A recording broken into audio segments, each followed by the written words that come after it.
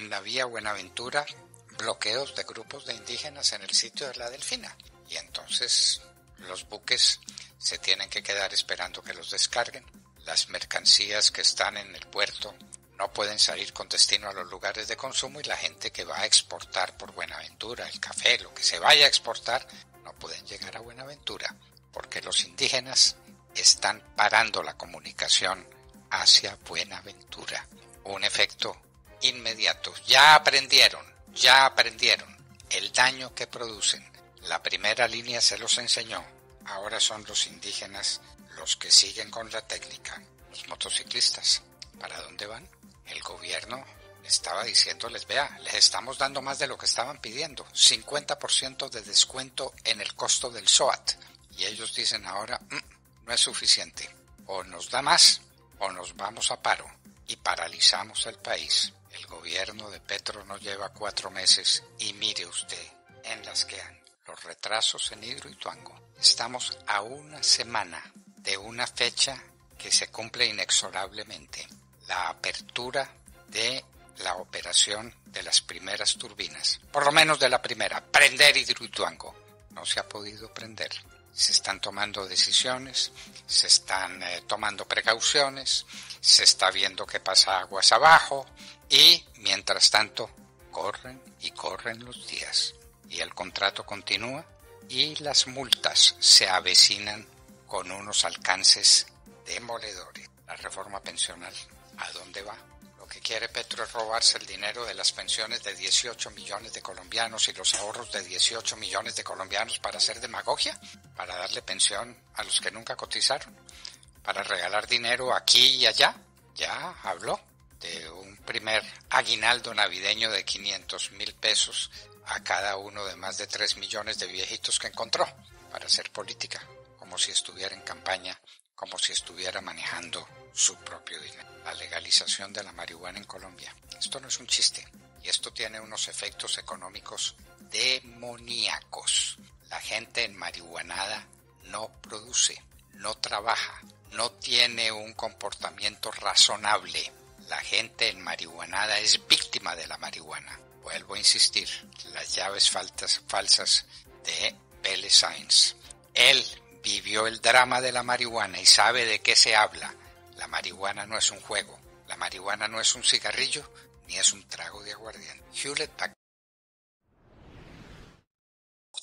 Algunos comentarios sobre algunas noticias que debieran llamar más la atención de lo que le están llamando. ¿Quién creyera que a Putin se le están enfrentando las mujeres? Las mujeres. Increíble. Putin, el hombre más cruel, la mano más dura, la NKVD en todo su esplendor con la guerra en Ucrania, destruyendo a Ucrania, volviéndola a pedazos. No pudo con su ejército, ahora está acabando con las centrales eléctricas y con los acueductos. Bueno, pues a Putin se le están enfrentando las mujeres, las madres y esposas de los soldados rusos están saliendo a protestar. No quieren más muertos. ¿Cuántas decenas de miles de rusos han perdido la vida en esta guerra absurda? Por capricho de Putin, por su voluntad de poder, por sus ganas de poner de rodillas al mundo. Por eso sacrifica la vida de muchos. Que no la suya, desde luego. Que no la de sus hijos o sus hijas si las tiene. Por eso las madres y las esposas están saliendo a protestar. ¿Será con ellas? Y precisamente, y perdón, Dígame. Perdóneme que lo interrumpa. Precisamente para que salgan masivamente a las calles eh, las madres y las esposas de estos eh, combatientes de, las tropas rusas, pues el Kremlin, doctor Fernández, les ha dicho que las espera en una reunión el próximo domingo 27 de noviembre. Obviamente las ha seleccionado, digamos, entre todo el grupo que está manifestándose, algunas serán invitadas precisamente al Kremlin, que, bueno, usted sabe, ¿no? Al palacio allí de gobierno en Moscú, para no poner más en riesgo la imagen de Putin. Entonces, las calla invitándolas a una reunión en que supuestamente pues va a escuchar todas sus inquietudes. ¿Quién sabe si se callen, no? Cuando el problema es que le van a matar al hijo, que le van a matar al esposo, que le van a matar al padre, en una guerra que no tiene sentido en una invasión caprichosa y absurda, tal vez uno no se conforme con que le digan cuatro palabras y que le digan que la culpa de todo la tiene Ucrania. Van a creer, van a creer que la culpa de todo la tiene Ucrania. ¿Quién invadió? ¿Quién mantiene la guerra? ¿Quién destroza las centrales eléctricas, los acueductos, los edificios? ¿Y quién tiene un ejército vencido, derrotado, porque no tiene moral? Ese es Vladimir Putin. Las madres y las esposas le están pidiendo cuentas a Vladimir. Y algo más que tiene que ver con mujeres. Y algo muy importante. ¿Sabía usted, eh, Cindy, que estamos en récord de participación femenina en el Congreso de los Estados Unidos? Nunca ha habido. Doctor Fernando, no sabía. Bueno, le estoy contando. Le estoy contando para que lo mire. Nunca hubo tantas mujeres en el Senado y en la Cámara de los Estados Unidos como ahora la mujer tomando conciencia de sus deberes y también de sus derechos y haciendo política y haciendo política en grande las mujeres infundiendo lo mismo en Irán doctor Fernando.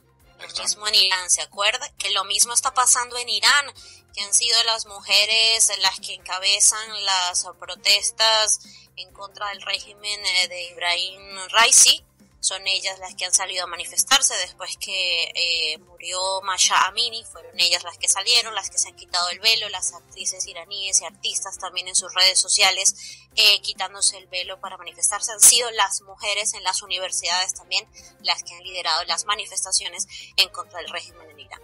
Muy bien, las mujeres dando el ejemplo en Irán se juegan la vida, en Rusia también pero Vladimir Putin resolvió ser suavecito con ellas a ver si logra convencerlas de que no se preocupen, de que le dejen a él seguir mandando la muerte a sus maridos y a sus hijos con tal de que no lo molesten. Quién sabe qué va a pasar. Pero en los Estados Unidos, la mayor cantidad de mujeres en la historia está en el Parlamento americano. Una noticia que vale la pena destacar.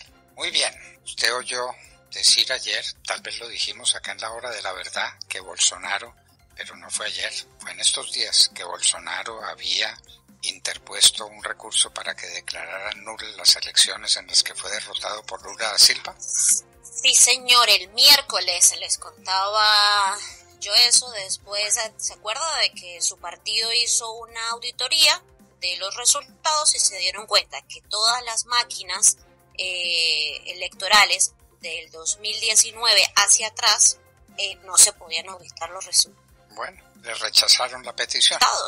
Y ellos pues presentaron eso ante el Tribunal eh, Superior Electoral de Brasil y le rechazaron la petición. Muy bien, muy bien.